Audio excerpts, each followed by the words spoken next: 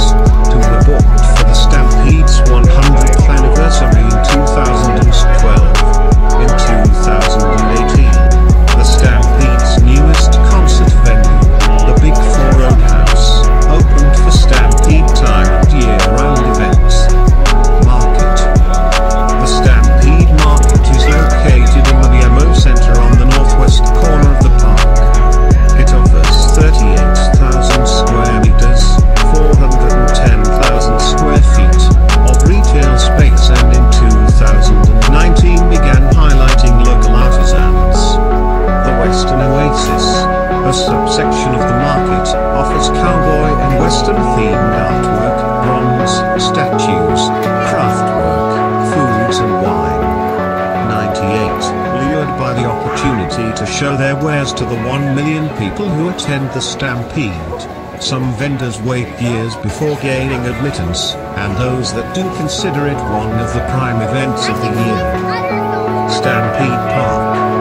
A downward-looking image of numerous buildings